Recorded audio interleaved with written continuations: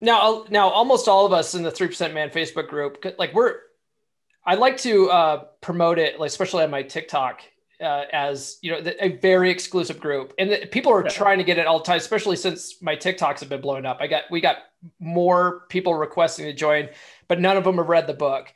But we're right. hardcore, you know, students, sure. and so we're yeah. all trying to get to that magic ten to fifteen read number.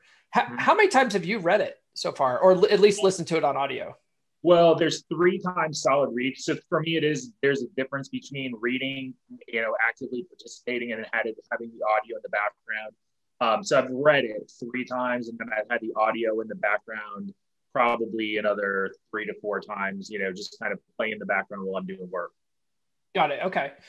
I see. it Like I, I I prefer the audio because I can get through it. I can get through the book in you know in a week pretty easily. Yeah. Just go through yeah. audio, just, you know, on my jogs out, you know, at the gym, whenever I'm in the car, you know, I can get through an audiobook super quick. When it, when I have to actually sit down and focus on a paperback, like that takes me forever to get through.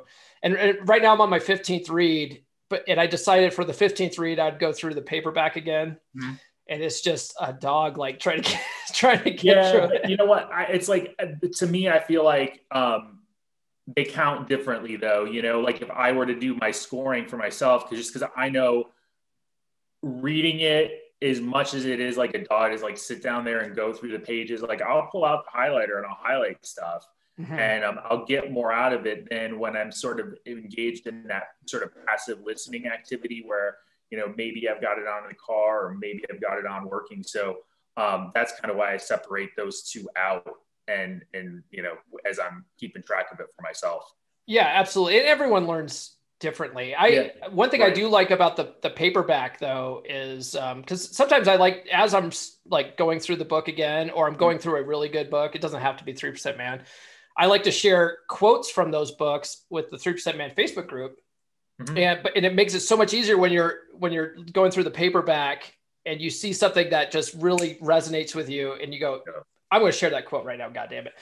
yeah, exactly. As opposed to having to try to like listen for it and like, you know, type it all out. Yeah, exactly.